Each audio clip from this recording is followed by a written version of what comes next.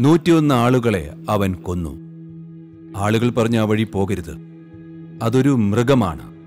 ഗൗതമൻ പറഞ്ഞു ഞാൻ പോയില്ലെങ്കിൽ പിന്നെ ആര് പോകും? വിഡ്ഢിത്തം.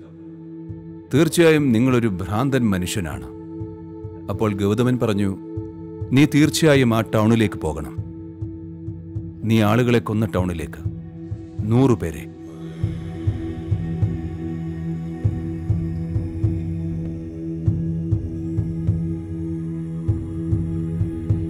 It happened that there was a man.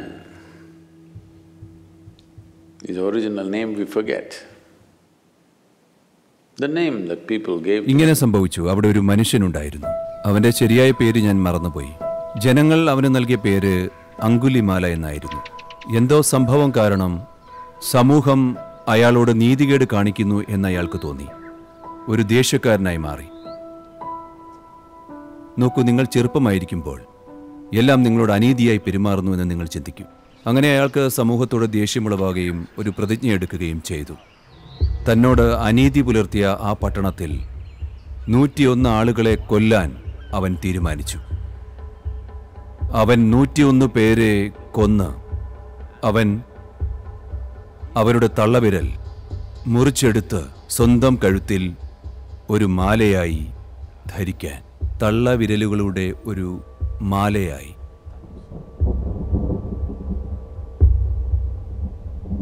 അങ്ങനെ അവൻ ഈ പ്രവൃത്തിയിൽ ഏർപ്പെട്ടു. ജനങ്ങൾക്ക് ആ വഴി സഞ്ചരിക്കാൻ സംഭ്രാന്തമായി. അവർ താവളമടിച്ചിരുന്നത് ഒരു കാട്ടിലാണ്. പക്ഷേ മറ്റു പല സ്ഥലങ്ങളിലേക്കും പോകേണ്ട നടപ്പാതകൾ ഇതുവഴിയായിരുന്നു. ജനങ്ങൾ കൊല്ലപ്പെട്ടു. ചില വർഷങ്ങൾക്കുള്ളിൽ അവൻ നൂറുപേരെ കൊന്നു. തന്റെ ആസക്തിയെ തൃപ്തിപ്പെടുത്താൻ അവന് ഒരാളെ കൂടിയേ വേണ്ടിയിരുന്നുള്ളൂ. അവസാനമായി അങ്ങനെ ഒരു ദിവസം ഗൗതമ ബുദ്ധൻ ഈ പട്ടണത്തിലേക്ക് വന്നു. ഇതിനകം വിരലുകൾ കൊണ്ടുള്ള മാല ധരിച്ചിരിക്കുന്നതിനാൽ ആളുകൾ അയാളെ അങ്കുലിമാല എന്ന് വിളിച്ചു തുടങ്ങി. അതിനർത്ഥം വിരലുകൾ മാലയായി ധരിക്കുന്നവനെന്നാണ്. അവന് അവന്റെ പ്രതിജ്ഞ പൂർത്തിയാക്കാൻ ഒരു വിരൽ കൂടി മതിയായിരുന്നു.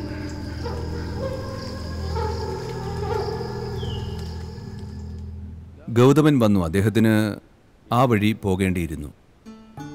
ആളുകൾ പറഞ്ഞു ഈ വഴി പോകരുതെന്ന്. ഇതൊരു മൃഗമാണ്. ഒരു മനുഷ്യനല്ല. ഇത് നിങ്ങൾക്ക് പോയി പഠിപ്പിക്കുവാനോ ധ്യാനാത്മകനാക്കാനോ കഴിയുന്ന ഒരാളല്ല. താങ്കൾ പോകരുത് കാരണം അവൻ ഒരു ജീവൻ കൂടി മതി. അത് അങ്ങയുടേതാകാൻ ഞങ്ങൾ ആഗ്രഹിക്കുന്നില്ല. ഗൗതമൻ പറഞ്ഞു ഞാൻ പോയില്ലെങ്കിൽ പിന്നെ ആര് പോകും? മാത്രവുമല്ല അവന് കാര്യം നടക്കാതെ പോകും. അവന് ഒരു വിരൽ കൂടി മാത്രം മതി. ഞാൻ പോയില്ലെങ്കിൽ പിന്നെ ആരാണ് പോവുക? എന്നെ പോകാൻ അനുവദിക്കൂ. അങ്ങനെ അദ്ദേഹം പോയി.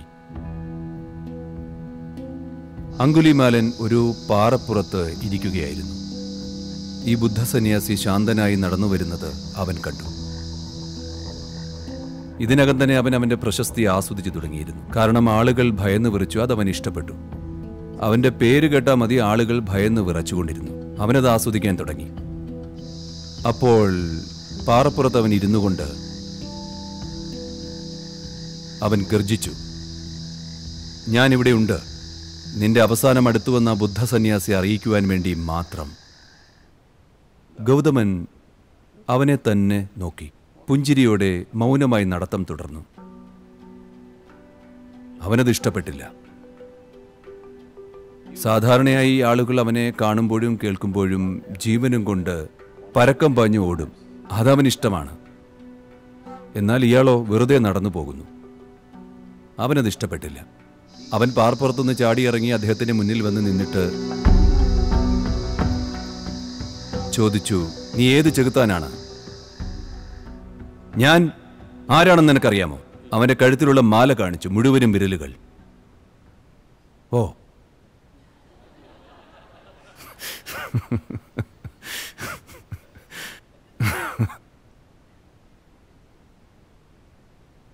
എന്നിട്ട് നിനക്ക് എന്നെക്കുറിച്ച് അറിയാമോ ഗൗതമൻ പറഞ്ഞു ഞാൻ നിങ്ങളെക്കുറിച്ച് ഒരുപാട് കേട്ടിട്ടുണ്ട്. അതിനെന്താ അദ്ദേഹം നടത്തം തുടർന്നു? നീ എവിടേക്ക് പോകുന്നു എന്നാണ് കരുതുന്നത്. ഞാൻ നിന്നോട് സംസാരിക്കുമ്പോൾ നീ നടന്നുകൊണ്ടിരിക്കുന്നു? ഗൗതമൻ പറഞ്ഞു ഞാൻ ഒരുപാട് കാലം മുമ്പ് തന്നെ പോകുന്നത് അവസാനിപ്പിച്ചിരിക്കുന്നു. എന്റെ പോകൽ ഒരുപാട് കാലം മുമ്പേ അവസാനിച്ചതാണ്. ഞാൻ എത്തിക്കഴിഞ്ഞു. നീയാണ് എവിടെയോ പോകാനായി ശ്രമിച്ചുകൊണ്ടിരിക്കുന്നത്. അങ്കുലിമാല ചിരിച്ചുകൊണ്ട് പറഞ്ഞു അസംബന്ധം. തീർച്ചയായും നീ ഒരു ഭ്രാന്തനാണ്. ഞാനിവിടെ അനങ്ങാതെ നിൽക്കുകയാണ്. നീ പറയുന്നു ഞാൻ പോവുകയാണെന്ന്. നീ നടക്കുകയാണ് എന്നിട്ട് പറയുന്നു നീ എങ്ങും പോകുന്നില്ലെന്ന്. നിന്റെ പ്രശ്നം എന്താ? അദ്ദേഹം പറഞ്ഞു ഇല്ലില്ല. ഒരുപാട് കാലം മുമ്പേ ഞാൻ എത്തിക്കഴിഞ്ഞു. ഞാൻ എങ്ങോട്ടും പോകുന്നില്ല. നീയാണ് എവിടെയോ പോകുവാൻ ശ്രമിക്കുന്നത്. പക്ഷേ എങ്ങനെ അവിടേക്ക് പോകണമെന്ന് നിനക്കറിയില്ല. നിനക്കെന്റെ വിരൽ വേണോ. അതോ എന്റെ കഴുത്തോ?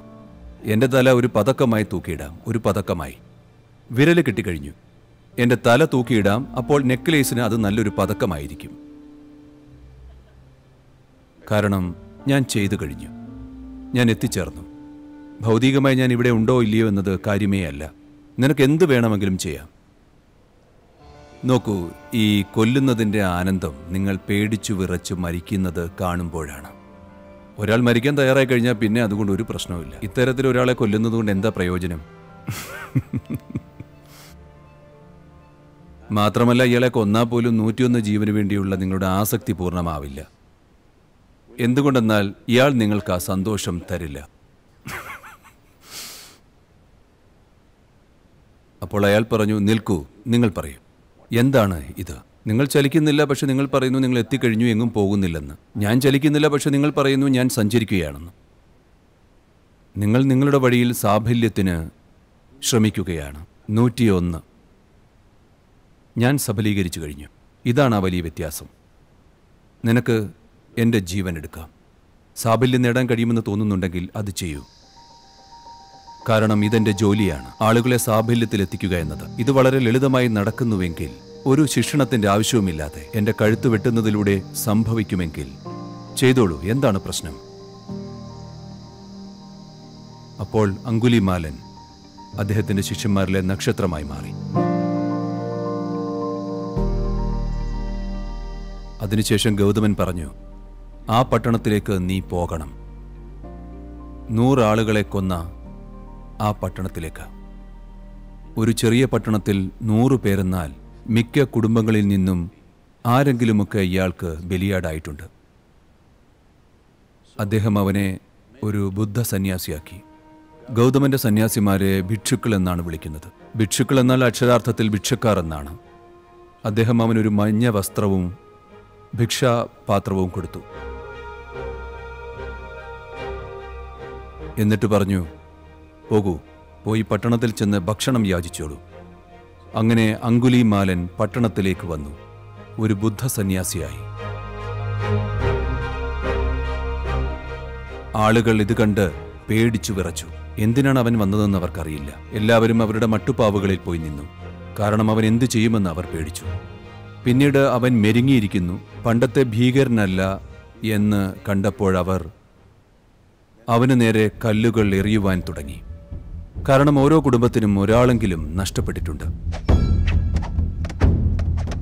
പക്ഷേ അവർ തുടർന്നു കല്ലുകൾ അവനെ തട്ടി അവന്റെ ശരീരം മുഴുവനും ചോരയൊലിക്കുന്നുണ്ടായിരുന്നു പിന്നെ കല്ലെറിയൽ അല്പം കൂടുതലായപ്പോൾ അവിടേക്ക്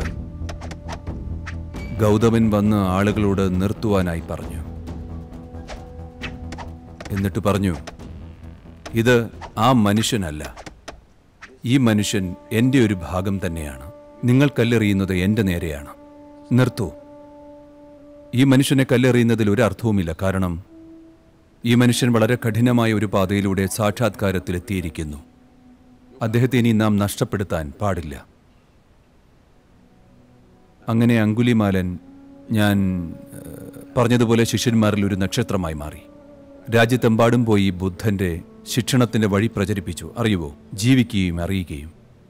അതുകൊണ്ട് നിങ്ങൾ ഏതുതരം പൂർണതയാണ് നോക്കുന്നതെന്നത് പ്രശ്നമല്ല. വിദ്യാഭ്യാസത്തിലൂടെ സംഭവിക്കുമെന്ന് കുറഞ്ഞത് നിങ്ങൾ അപ്രകാരം ചിന്തിക്കുകയെങ്കിലും ചെയ്തു. വിദ്യാഭ്യാസം നേടിയ നിമിഷം നിങ്ങൾ സ്വയം വിഡ്ഢിയെ പോലെ അനുഭവപ്പെട്ടു. എനിക്കൊരു ജോലി കിട്ടിയില്ലെങ്കിൽ പിന്നെ ഈ വിദ്യാഭ്യാസം കൊണ്ട് എന്താണ് പ്രയോജനം? നിങ്ങൾക്കൊരു ജോലി കിട്ടി. വളരെ സന്തോഷമായി. കുറച്ചു കഴിഞ്ഞപ്പോൾ വീണ്ടും ഒരു വിഡ്ഢിയെ പോലെ തോന്നി.